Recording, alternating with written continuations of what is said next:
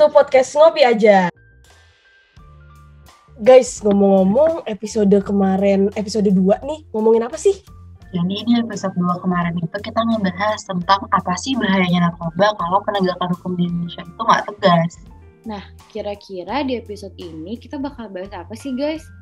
Soalnya kayaknya podcast Badi tuh udah penasaran banget nih. Di episode ini kita bakal bahas nih mengenai apa aja yang harus dilakukan oleh calon-calon jaksa terhadap legalisasi ganja yang termasuk psikotropika jenis 1 di Indonesia. Eh, tapi terkait dengan psikotropika di Indonesia, kira-kira diatur di peraturan apa aja sih guys? Nah, Gev, di Indonesia itu uh, diatur mengenai uh, UU narkotika tuh di UU 3 35 tahun 2009 tahun 2009. Terus ada juga nih peraturan undang-undang pelaksananya yang ngatur. Ada peraturan pemerintah, ada peraturan Kementerian Kesehatan juga ngatur kok. Wah banyak juga ya pengaturannya. Tapi gue penasaran deh dengan pengaturan sebanyak ini. Sebenarnya itu kasus di Indonesia udah berkurang atau tetap banyak sih? Nah, walaupun pengaturannya banyak nih, diatur di UU, diatur di PP, diatur di peraturan Kementerian Kesehatan, tapi kasusnya juga banyak.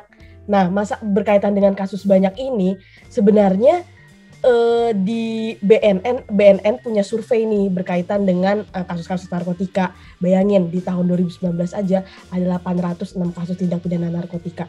Terus tersangkanya 1247 tersangka. Bayangin banyak banget kan? Nah, BNN itu juga ter, selain kasusnya juga mencatat barang buktinya tuh eh, banyak banget. Bayangin ada uh, barang bukti ganja bertonton sama ekstasi beribu-ribu banyaknya. Oh ya, uh, tambahan juga sih, tahun 2020 kemarin itu BNN tuh juga telah berhasil memusnahkan lahan ganja dengan total luas mencapai 30,5 hektar area dan barang bukti tanaman ganja senil, uh, sebanyak 231 213.045 batang. Jadi ya memang cukup tinggi sih kasus psikotropika jenis ganja yang dihadapi oleh Indonesia. Tapi ngomong-ngomong nih guys, uh, eh, gue baca nih di pasal 87 ayat 2 UU Narkotika tentang pihak-pihak lain yang menjadi uh, garda terdepan gitu uh, terhadap negara sebelum kasus psikotropika ganja ini tuh ditangani oleh jaksa. Jadi menurut pasal 87 ini nih, BNN dan uh, pihak kepolisian itu uh, wajib memberitahukan penyitaan yang dilakukan kepada uh, kepala kejaksaan negeri setempat dalam waktu paling lama 3 kali 24 jam uh, sejak dilakukan penyitaan. Nah, setelah uh, proses di BNN dan kepolisian itu, uh, kepala kejaksaan negeri setempat itu berkewajiban nih untuk menetapkan uh, status barang sitaan narkotika dan prekursor narkotika itu untuk kepentingan pembuktian perkara uh, kepentingan pembuk uh, pengembangan ilmu pengetahuan teknologi, terus juga kepentingan pendidikan dan pelatihan, tapi juga untuk kepentingan uh, dimusnahkan gitu. Jadi kalau misalnya kepala kejaksaan negeri setempat itu lalai atau secara melawan hukum tidak melaksanakan kewajibannya menetapkan status barang uh, sitaan narkotika dan prekursor narkotika tersebut, maka uh, berdasarkan pasal 141 UU narkotika nih uh, kepala kejaksaan negeri setempat tersebut bakal dipidana baik penjara maupun denda. Bener banget sih Sri, kejaksaan ini emang punya peran yang penting banget dalam melakukan penuntutan di sidang pengadilan dalam kasus psikotropika ganja untuk membuktikan kesalahan terdakwa gitu. Nah, selain itu, pihak kejaksaan yaitu penuntut umum juga perlu untuk memastikan kebenarannya barang bukti narkotika ini maksudkan karena uh, berapa berat barang bukti narkotika ini dikhawatirkan akan berubah nanti ketika ditimbang di Laprim Polda dan itu juga bisa memberikan dampak kepada keabsahan dakwaan jaksa penuntut umum gitu. Jadi kalau misalkan um, beratnya berubah-ubah itu bisa jadi uh, mempengaruhi keabsahannya dakwaan jaksa penuntut umum itu. Makanya kita harus hati-hati banget dan teliti kan nih kalau misalkan mau jadi jaksa penuntut umum terutama dalam uh, penanganan kasus psikotropika ganja. Kemudian penetapan barang bukti narkotika uh, jenis ganja juga harus ditetapkan oleh kepala kejaksaan setempat sesuai dengan ketentuan pasal 91 ayat 6 UU narkotika gitu Sri. Nah, tapi menarik banget sih guys sebenarnya kalau ternyata ini banyak banget sih uh, peran jaksa dan memang jaksa ini berperan besar ya dalam tindak pidana narkotika uh, khususnya uh, psikotropika jenis ganja gitu. Tapi kira-kira guys uh, apa sih tugas dan wewenang jaksa? Kira-kira ada, ada yang ada yang tahu nggak sih? Nah sebenarnya nih uh, tugas dan wewenang jaksa berkaitan dengan ganja ini itu tuh diatur langsung di surat edaran jaksa surat edaran jaksanya banyak banget yang ngatur. Salah satunya itu ada beberapa yang menentukan jumlah tuntutan nih, tuntutan buat si pengedarnya atau pelakunya ini untuk dapat tuntutan berapa sesuai dengan kategori berat barang buktinya yaitu narkotikanya gitu kan.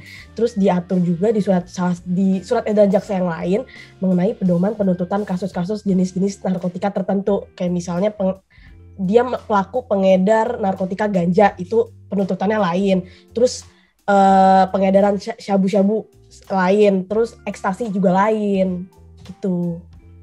Gak cuma itu, ada juga loh yang tentang pedoman tuntutan pidana sama surat jaksa muda tindak pidana umum tentang tolak ukur uh, tuntutan pidana narkotika dan hal-hal yang dapat memberatkan atau meringankan terdakwa tersebut. Oh, wah berarti memang tugas dan peran jaksa ini memang banyak ya dan diatur juga gitu dalam surat edaran khusus gitu mengenai uh, tugas dan peran jaksa. Nah, tapi kira-kira nih guys, uh, setelah kita tahu tadi nih peraturan, kasus serta tugas dan wewenang jaksa dalam tindak pidana narkotika ini, gue penasaran deh, uh, kira-kira realita, realita di masyarakat, khususnya masyarakat dunia terkait ganja ini ada yang tahu nggak ya kira-kira? Nah, perihal ma realita masyarakat di Indonesia gimana nih mengenai legalisasi uh, psikotropika ganja? Uh, gue pengen kasih tahu nih fakta tentang negara-negara mana yang udah ngelegalisasi ganja. Nah, uh, berkaitan dengan itu sebenarnya lo kalian tuh harus pada tahu nih negara-negara yang melakukan legalisasi ganja itu ada alasannya juga. Salah satunya itu paling terkenal nih medis buat kebutuhan uh, kesehatan. Di antaranya kayak negara-negara bagian Amerika beberapanya udah banyak nih yang melakukan legalisasi ganja. Salah satu uh, beberapanya ada New York sama California.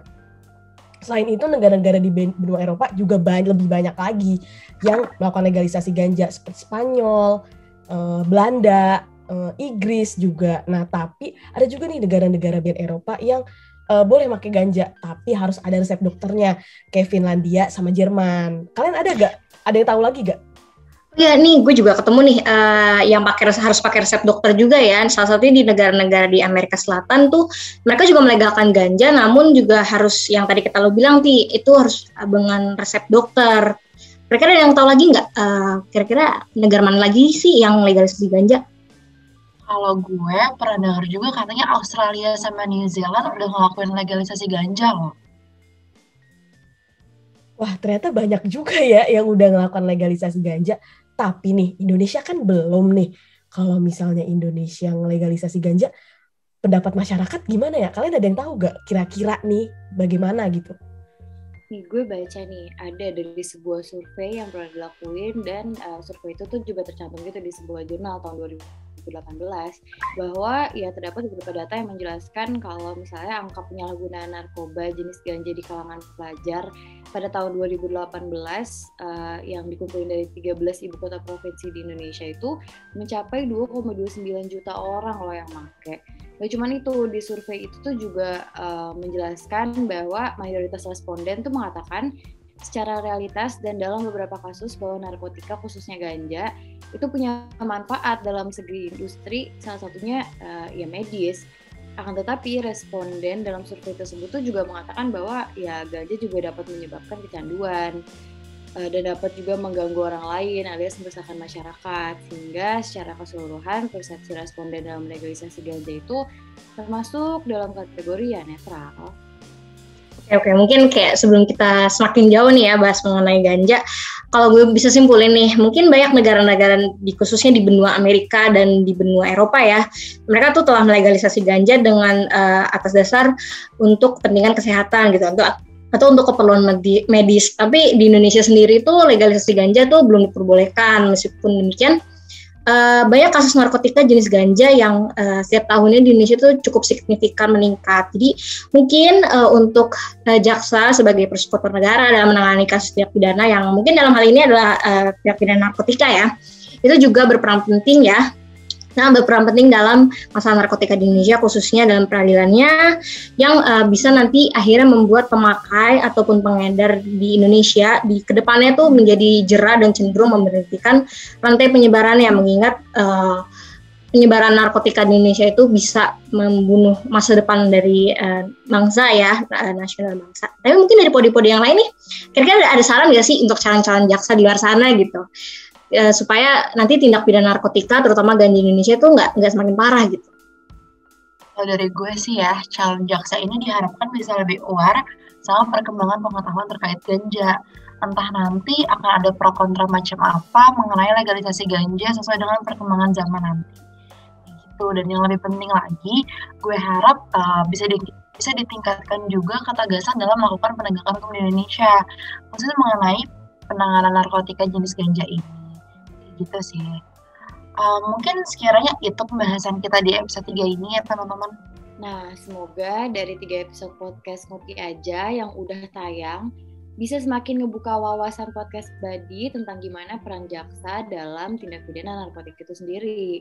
Semoga ke depannya podcast Badi juga tertarik nih jadi calon jaksa atau penegak hukum lainnya yang bisa membantu menegakkan hukum dengan baik di Indonesia. Tuh. Oke, kayaknya cukup ya dari kita. Uh, sampai jumpa. Saya Ukti. Saya Muti. Saya Aziza Asri. Dan saya Givi, kami pamit undur diri. Thank you podcast tadi yang udah ngedengerin podcast Ngopi Aja, ngobrolin pidana dan jaksa.